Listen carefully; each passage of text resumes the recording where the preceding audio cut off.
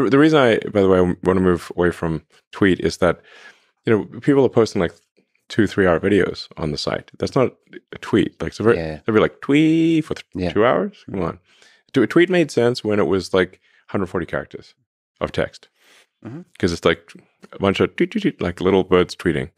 Um, but when you've got long form content, it's no longer a tweet. Yeah. Um, so a movie is not a tweet. And like you know, Apple, for example, posted like the entire episode of the Silo, the entire thing Mhm. on our platform. And by the way, it was, the, it was their number one social media thing ever in engagement of anything on any platform ever.